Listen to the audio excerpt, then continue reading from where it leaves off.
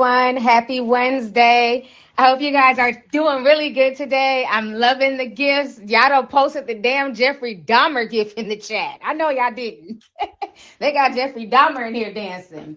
But I hope everybody's doing good. It has been so much talk about this Netflix documentary. Um, and initially, I was just kind of sipping tea and kind of, you know, reading what people were saying online and stuff like that. I wasn't sure if I wanted to watch it. Um, and I know me and James, Erratic Unicorn, we were kind of talking this weekend on Telegraph about it. And he was saying that he kind of felt like it was, you know, trauma porn and he wasn't sure if he wanted to engage. And for me, I can say that I honestly do not remember a lot about Jeffrey Dahmer. Like this happened when I was a kid. I remember being in elementary school around this time. And so uh, I'm learning so much from watching this. I finally decided to, you know, start, you know, watching it. It's a 10 part episode series. Um, and it's on Netflix. And so it dropped like over the weekend. So I didn't start watching it until about Sunday evening. And so I watched the first two episodes and I was just kind of blown away. And then I found myself, you know, watching it at like literally one o'clock, two o'clock in the morning. And it was definitely, definitely creepy. Um, and it's just another one of those Ryan Murphy, you know, situations. Um, he's the director of American Horror Story. Um, he has uh, Evan Peters is playing Jeffrey Dahmer. And as an actor, I've always liked him in the Marvel movies. I've always liked him as, you know, Quicksilver. But he's definitely killing it as this role. And it's so eerie because there were times when I would look at Jeffrey's pictures in that orange uniform, and uh, Evan looks just like him. Looks just like him, and even the accent. Like y'all don't understand. Like growing up in the Midwest, it blows me away because a lot of times Midwest accents are not really portrayed right, or they're kind of seen as goofy. Like you know, everybody knows the East Coast accent of Brooklyn, you know, or Southern, you know but Midwest accents are not the easiest to like really capture. And the way he talks, that is like, yeah, don't you know? No, dad. Like he just has that Midwestern voice down pat where it's so eerie. It's like, it's so eerie. Like he talks like every white Midwestern dude that I went to school with. And it's just, it's like he really embodied that character I mean, the way he walks, just he has embodied him, right? But the thing that kind of has me nervous is that I really hope, you know, because like I tell you guys all the time when you're involved in acting, you have to really become one with that actor. Acting is a very, very spiritual thing. People don't understand that. A lot of times you're inviting that person's spirit, their energy into you to be able to tell their story. Okay.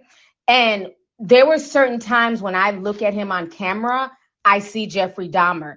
There was one point when he had one of the boys in the room with him that his eyes like turned like cat eyes and it scared me. Like I literally jumped. I wasn't expecting that. And then he goes on to just talk casually, like, yeah, I hope you like my contacts. I got these the other day. And I was just like, oh my God, it was just so creepy the way he was just talking and, and dialoguing like him. And I just hope for his sanity and for his spirit that he exercises the role of Jeffrey Dahmer out of him. Because what a lot of people don't know that I've talked about in the past on YouTube is that, you know, when you're channeling these, you know, these characters, I don't care if it's good or bad, right? It, it, you can become one with that character. You can lose yourself. That is what happened with Heath Ledger, with Heath Ledger and the Joker. Um, that's happened to the young man who played in Boys in the Hood, the one that killed Ricky. Remember, he couldn't come out of that role. He was a good kid living in the valley. He got this gangster role. Then he started hanging out in Inglewood with all the Bloods. He got jumped in. This is one of the most notable characters in Boys in the Hood. And he ended up doing a drive by and killing three people years later. Yes, Michael B. Jordan as well. He had to exercise the role of Killmonger out of him. You know, so acting is a very, very spiritual thing. So for me, when I watch this Jeffrey Dahmer documentary, his acting is so good. He's become so one with the character that it makes me nervous for him. Like I just really hope that he's with the right acting people and he's able to get back and find the core of himself and that he doesn't get lost in this character because you know as a kid one thing i remember about this case right because again i'm like in probably fourth grade when this happened so one thing i remember about the case was the word laotian i had never heard the word laotian before i didn't know what a laotian was and I remember because this Laotian boy, this Laotian boy was sent back into his apartment. And I remember seeing the good boy's picture. So it kind of brought me back to my childhood. Like it, it came back rushing uh, a bunch of like memories flooding back. And I was like, I remember that, that word Laotian from way back then. But I had no idea the young boy was only 14 at the time. I had no idea Jeffrey had molested his older brother at the time. It was just so much information that, that as a kid, you know, you don't know, and as a kid, you don't need to digest. I don't need to understand what cannibalism is as a kid, you know? So I didn't even realize, like, I remember the jokes when I was younger, like Martin Lawrence on You So Crazy, talking about if they find an ass in the refrigerator, guilty. He don't need to go to trial. I remember that joke from being a kid, but I didn't know he was as sadistic as he was you know, as far as like eating people and telling the one man he's listening to his heart and he's saying, I'm going to eat your heart. I didn't know he was making zombies out of people. Like, child, when I tell you, I just didn't know. Like, this has really refreshed my memory and just scared the hell out of me because it just shows the depravity of human beings. Like, what, you know, how dark somebody can be. And the thing that's very disturbing about this, right? another angle I can say that's really pissed me off as I'm watching this, because like I said, I didn't know all this was going on because I was in elementary school. I'm a kid. I never knew that there was this this black woman named Glenda Cleveland that was alerting the police continuously. She kept feeling that something wasn't right. And, you know, she was just being ignored and dismissed. And the fact that this community anytime they had a concern, they were just being ignored and dismissed. And Jeffrey Dahmer, I'm sorry, I have to say it. He is the living, well, he's dead now, child, but he was the living embodiment of white privilege. Like, can we like just keep it real? This man was caught molesting a 13 year old child.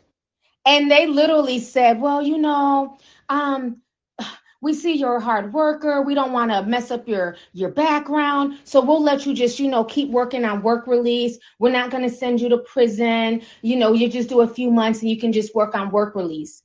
It's like wait what? Had he been locked up for that molestation that could have saved other people's lives. You know the fact that it, it was just so many nuances to this thing, right? You have the whole gay situation where there's clear homophobia, where the police don't really want to be bothered. Even when they came in the apartment, he the, his whole thing for this reason why his apartment was stinking was it's rotting meat. Oh, I was trying to barbecue and I, you know, I left the meat out. Oh, it's rotting meat and gay stuff. And as soon as he would say gay stuff, automatically the police officer would be like, oh no, I don't want to catch AIDS. I'm not trying to go in your apartment. I, you know, he was just able to get away with stuff where I'm sorry. If he was a black guy and he was like, oh, don't worry about the meat, it's just gay stuff, they were like, move your black ass out the way. We're coming in to come check your apartment, HIV, AIDS or not. You know. Yo, what's up? Baby, Hey, T Sippers. To listen to the rest of this podcast, please go to Apple Podcasts, Spotify, Google Play, Stitcher, TuneIn, or AnchorFM.com, which is a free podcasting site. Thank you guys so much for the support and stay tuned for the next video.